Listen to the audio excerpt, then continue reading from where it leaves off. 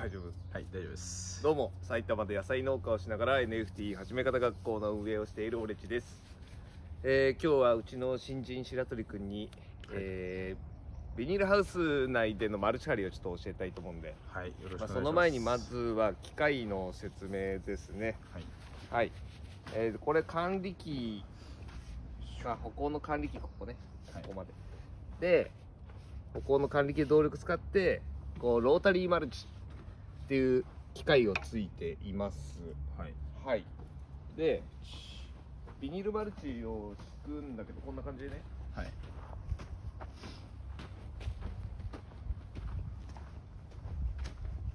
こんな感じで引いていく機械になります。はい。はい、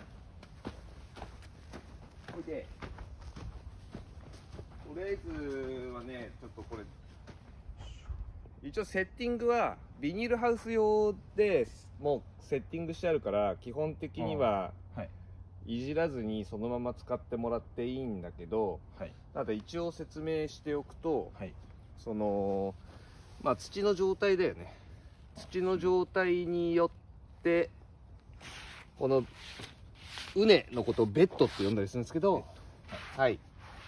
ベッドのね畝の高さ高さを調整するのがここ。これの高さで調整します。はい。はい。で高さ調整についてはここボルト緩めて上下するんだけど、はい。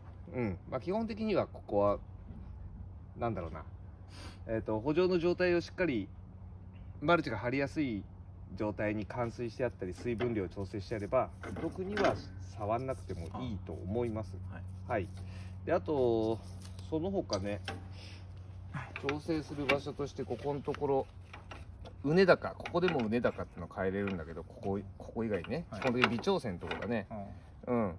あのロータリーがどれだけ深くはい。かかるかっていうところで調整が効くようになってます。はい。で一応こっち側取ってもらうとここに矢印があってうね高さっていうのがまずあるよね。はい。でこのよ横にあるのがロックボルトになってるんでロックボルトを左右とも緩めてやってはい真ん中のこのうん調整方向ってやつはい。これをぐるぐる回してやるとここが動いてあうね高が調整ができるようになります。はい。はい。まあ最初はまあ調整については素人が触ってもはい。なかなかうまく決まらないんで、はい。まあ、困ったら相談してもらうような感じかな。たはい。でハウスなんだけど通常路地畑でビニールマルチ張るときはマルチ幅135センチ幅っていうのを使うんだけどハウスの中は、えー、うね間をねすごい狭めてはい。なるべく土地の利用効率が上がるようにぎっちぎちにうん。畝立ててきますからはい。使うビニールマルチも特注で120センチ幅ってやつを使ってます。短ないんでそれに合わせてここも調整したのね。はい。これ今ちょっと開いちゃってるから少し進めるかな。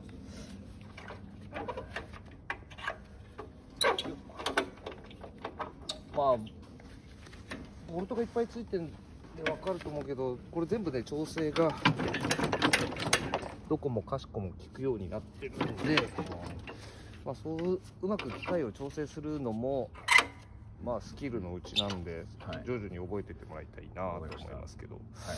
うん。まあ簡単に説明するとここにロータリーがあってロータリーで幸運しながらここの成形板のところで畝の形を整えてやる。でここにビニールマルチをセットするんだけど、ビニールマルチをセットしたらこうやってビニールをこっちから出すんだけどね。これでこのローラーでビニールを上から押さえつけてやる。でそれからこの横のアームを下ろしていくとこのスポンジでビニールの耳って言って一番両端のところを押さえつけながらこの土寄せ板このディスクが回ってこの土がこうやって寄ってくのね。あでビニールの耳のところに土が乗っかっていくような形。になります。でこれもしっかりと耳を押さえれるように調整がねあるんでここで。動かしてやったりします、うん、まあさっきも言ったけど最初のうちは分かんないだろうから、下手にいじらないでください困ったら相談するはい。という感じですね。はい。はい。で、まあ、ちょっと説明しよう、まあ、まずじゃあガソリンを入れよう。ガソリン入れるにはこのハンドルを回してやります。このレバーを下げてやるとハンドルがこう回転するようになるんでここからはい。給油をしてくるなるほど。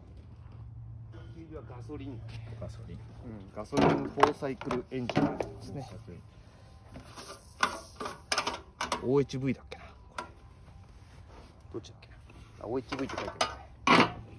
OHV ってわかりますか？HV いや聞いたことあるんですけど。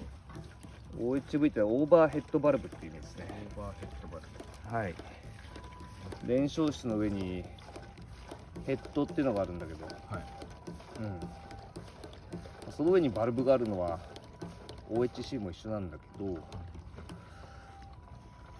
バルブを動かすカムカムっていうのがあるんだよね。あカムを使って、うんカム使ってバルブを動かすのが OHC っていうやつで、OHV っていうのはねプッシュロッドを使ってあはい。バルブの開閉タイミングをやるやつだね。だから構造がシンプルなんであ構造シンうん、OHC に比べたらね、はい。部品点数も少ないしなんでこういう農工具はよくまだいまだに OHV 使ってますね。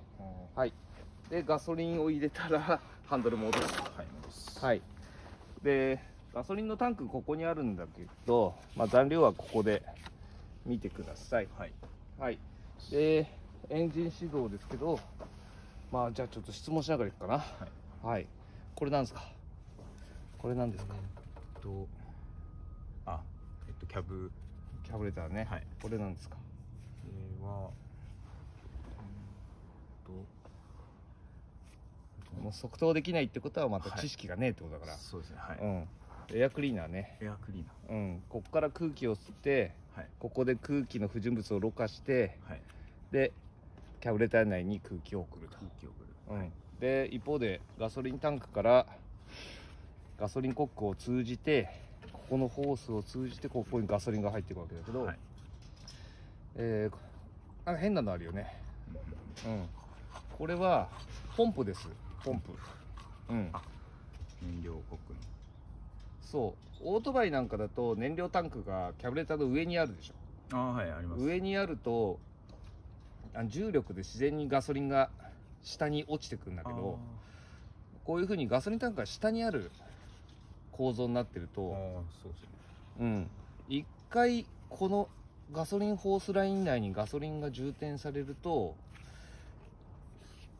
あのなんていうの？そこに今はい。ガソリン入れたけど、あー。ああいうポンプみたいに。ああこのポンプか。うん。なるほど。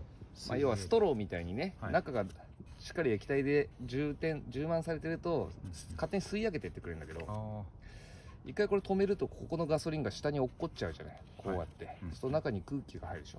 はい。でそれをここのポンプでガソリンを吸い上げてやってここを満たしてやる、あうん、そう最初にそれをやらないとはいガソリンが流れなくてはい。エンジンかかんないか。ら、あそっかそっかうん。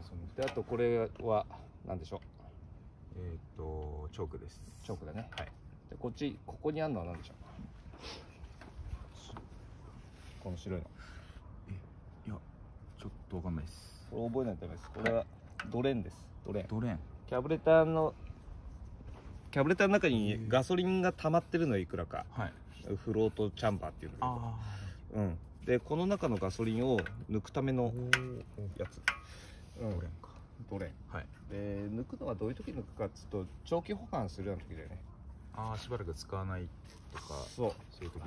ううん。ここの中のガソリン溜まってるガソリンは空気と触れ合ってるから酸化しちゃうんだよね。酸化すると劣化してはい。あの揮発して残ったものががガソリンのカスみたいなのがあキャブレターの通路を詰まらせたりするから長期間使わない時ははい。コックオフにしてガソリン抜いてあキャブレターから。っフにしてから。ていうのが。はい。でこれはだからドレンを引っ張ればもうガソリン抜ける仕組みになってるんだけど、はい。こういうのがついてないやつの場合は大概ネジがついててネジを緩めるとガソリンが抜けるような仕組みになってます、うんはい。はいじゃあエンジンかけるよ。はい。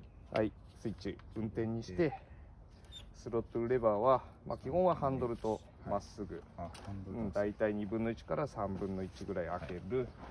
はい、でまあとりあえずまだあったかいからチョークなしではい。引いてみますか。でクラッチは必ず両方切っとくのね、はい。でこれねスターターロープ一回切るとき俺が自分で張り替えたんだけどちょっと長さが足んなくて、ストローク量が短いから、うん、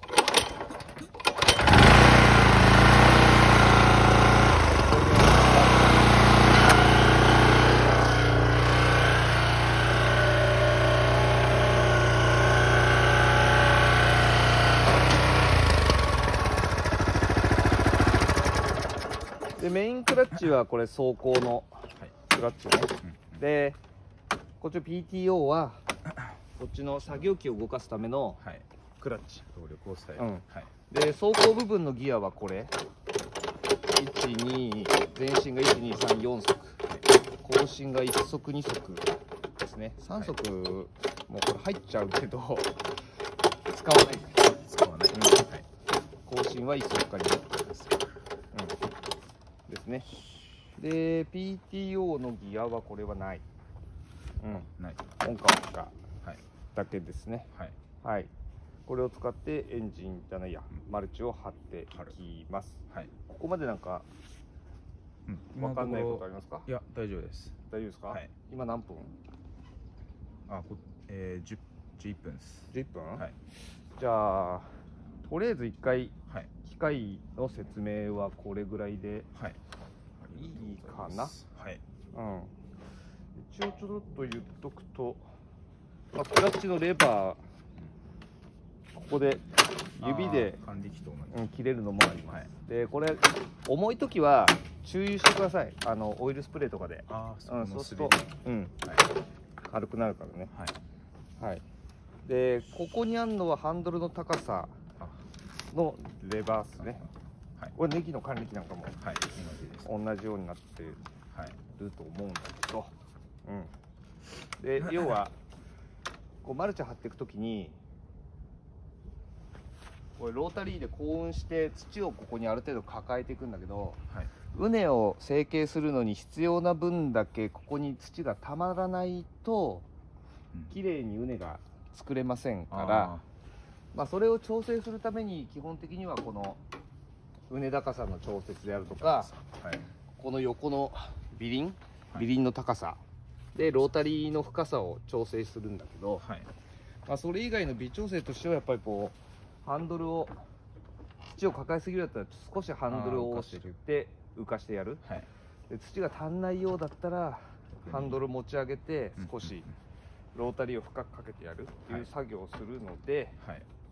まあ、そういったコントロールしやすいように高さは自分のあ角に合わせて調整する。あはい。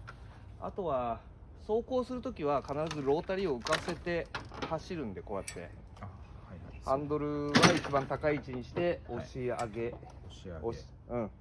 押し下げ。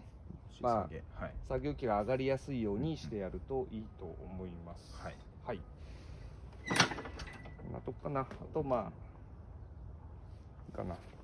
これは一応管理機のここのスタンドの出したり下げたりってやつなんだけどまあ作業機ついてる時はこれ必要ないんで、はい。